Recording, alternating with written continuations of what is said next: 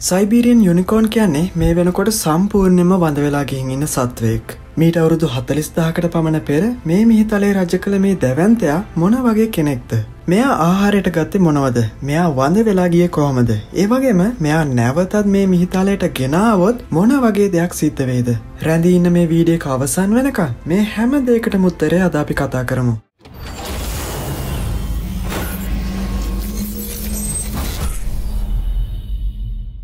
සයිබීරියන් unicorn කියන්නේ ඔයා අද දකින රයිනෝසිරස් කෙනෙට බෙහෙවින් සමාන සත්වයෙක්. බරින්ටොන් තුනයි දශම පහක් පමණ වෙන මේ සත්වයාගේ වැඩිපුරම කතාබහට ලක්වෙන්නේ ඔයා මේ දකින අඟ ගැන. අද ඔයා දකින රයිනෝසිරස්ලගෙන් දිගම අඟක් පිහිටන්නේ වයිට් රයිනෝසිරස්ට.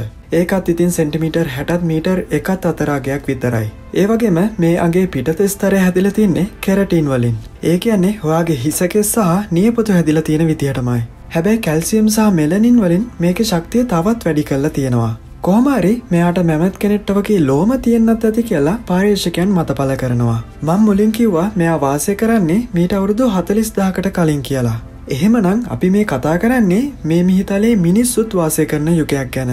මේකට තියෙන හොඳම සාක්ෂය තමයි ප්‍රංශය ගල්ගුහාාවකින් හම්බුන ඔයා මේ දකින චිත්‍ර.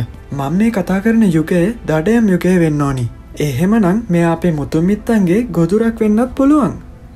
සමහරට මේක අනි පැත්ත වෙන්නත් පුළුවන්. ශාක භක්ෂක සත්වයෙක් වුණ මේ සත්වයාගේ ප්‍රියතම ආහාරය වෙලා තියෙන්නේ වියලි තනකොළ. මෙයාට තිබුණු තර්ජන ගැන කතාකරොත් සාබටෝත් කෑට් හයිනිස් සහ සිංහා ගැන කතා නොකරම බැහැ. මේ ජාතියේ හොඳින් වැඩුණු සත්වයෙක්ට නම් මං කලින් කිව සත්තු ඕනෙක් කෙනෙක්කු පරාජය කරන්න පුළුවන්. හැබැයි ලදුරු අවදිය පසුන සයිබීරියන් යුනිකෝන් කෙනෙක් මේ දේවල් වලින් සවයි වුණේ කොහොමද කියන එක නම් ප්‍රශ්නයක්. ඒත් මෙයා වඳ වෙලා යන්නේ මේ එකම හේතුවක්වත් නිසා නෙවෙයි. තනකොළවලින් සරුසාර වුණ බිම හිටි හැටියම ගෝලියෝෂ්ණත්වය වෙනසක් නිසා හිමවලින් වැහෙන්න පටන් ගන්නවා. මේ තමයි එකම ජාතිය තනකොළවලට පමණක් හුරුවන සයිබීරියන් යුනිකෝන්ගේ අවසානයේ ආරම්භය.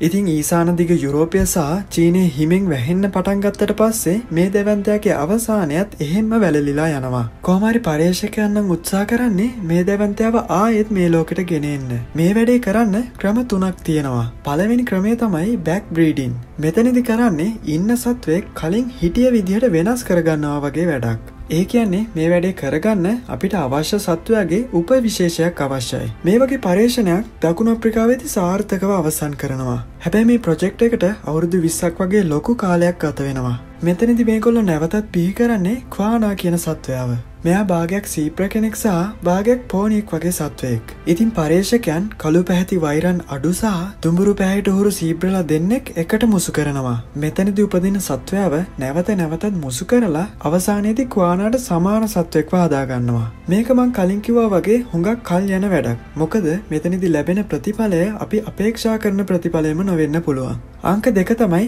ක්ලෝනින් එහම නැත්තං ක්ලෝනී කරණය.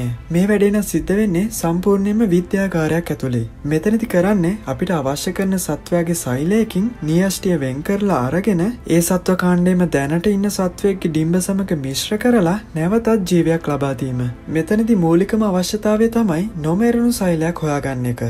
කතාව කියද්දිම තේරෙනවනි මේ ක්‍රමයමුත් අපිට ඕනි කරන සත්‍යව ගේන බැහැ. තුන්ගෙන ක්‍රමේ තමයි ක්‍රිස්ප ටෙක්නෝලජී මෙතනදි කරන්නේ දැනට හොයාගන්න පුළුවන් ඩැමේජ් වෙලා තියෙන DNA අනුවක් අපිට අවශ්‍ය කරන සත්වයට සමාන සත්වයක DNA අනුවකින් සම්පූර්ණ කරගන්නවා වගේ වැඩක්. මේක හරියටම කැඩුණු දැන්වලක් ආයෙත් පාසනවා වගේ වැඩක්. හැබැයි අවසනාවකට DNA අනුවක් වසර දහස් ගානක් නොමේරී තියෙන විදිහක් නැහැ. අයිස්කොට්ටයක් වගේ ඇතුළ තිබිල හම්බුනොන්දම් මේ වැඩේ ලේසියම්ම කරගන්න පුළුවන්. ඉතින් එහෙම වුණනම් සයිබීරියන් යුනිකෝන්ව ඔයාට අද වන විට බලාගන්නත් පුළුවන්. ඔන්න ඕක තමයි සයිබීරියන් යුනිකෝන්ගේ කතාව. මේ වගේ සත්තු ගැන අපි තවත් ඉස්සරට කතා කරන්න වීඩිය කොන්දන්න ලයි කරන්න ෂයා කරන්න ඒවගේම චැනල්ල එක සබස්ක්‍රයිබ් කරන්න තමතක් කරන්න එපා. No, God, please, no! එනම් සුප දවසා